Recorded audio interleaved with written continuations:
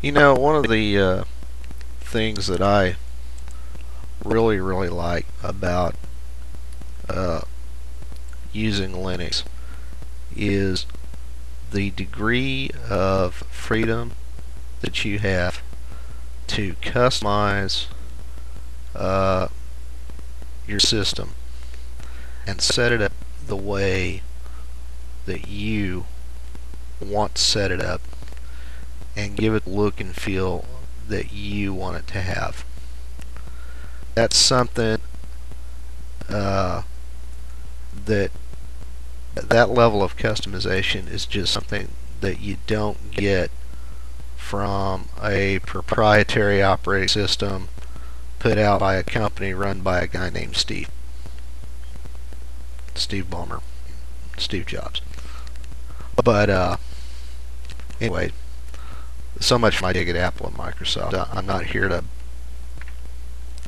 rain on on their on, on those uh, on that parade. Actually, both those companies put up. You know, now that Windows 7's out on the street, both of them put out really good products that work for.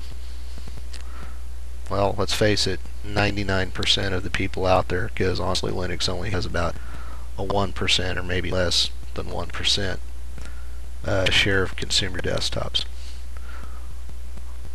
People don't know what they're missing out on. Uh, and what I'm talking about here is some people say it's chaotic and leads to uh, some confusion, but personally I like it. I think it's a good thing. You've got so many choices out there.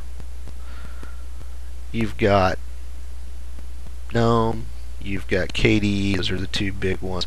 XFCE is gaining a big fan base. There's uh, Evolution, or not, not Evolution, Enlightenment desktop.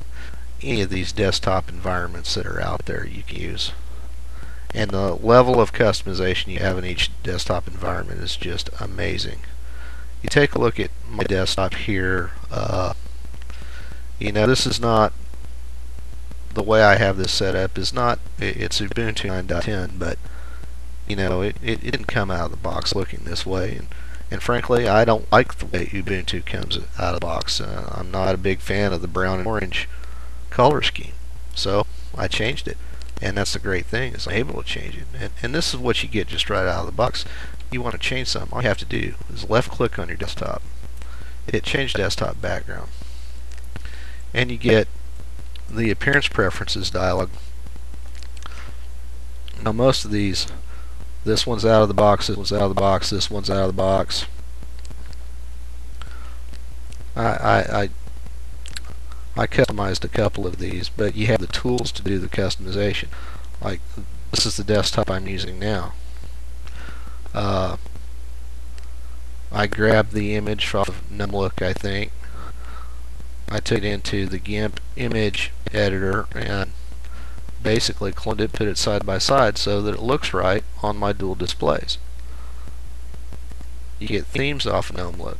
And you get a lot of different themes depending on your distribution straight out of the box. And you can further customize each of these themes, uh, what controls you want to use, what colors you want to set them up, window borders, the mouse theme you're using, the icons, you can you can change all of that. And it's uh, again you can set it up the way you like it and the way you think it ought to work. You can get tools like the Avant window navigator which gives you a dock. If if you like docks personally I like docks. I keep, uh, like to keep my icons down there uh, my, my launchers and and my window switchers uh, in, down in a dock just keeps it out of the way. Just keeps it out of the way. Uh, I've mentioned GNOME Look. this is a great site if you're using the GNOME desktop environment uh, to get different elements to customize your your desktop. Uh, there's a similar site called KDE Look if you use KDE and honestly a lot of the stuff will work back and forth between uh, desktop environments. Again, you've got that choice, and that's something that you don't get with well, something I know you don't get with Windows, and I don't know. I don't think you get this level of customization uh, available to you even with OS 10. I may be wrong on that. Got an OS 10 out user out there that knows more than I do about it, then feel free to chime in. But I know you don't get this level of customization with Windows. Uh, you know, it's one of the reasons why I keep going back to it. So, uh,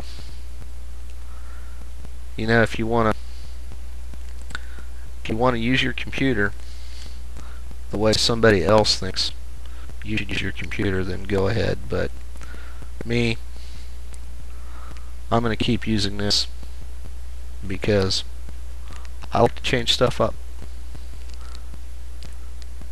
BR Tidwell 55. Hope you everybody's having a great weekend.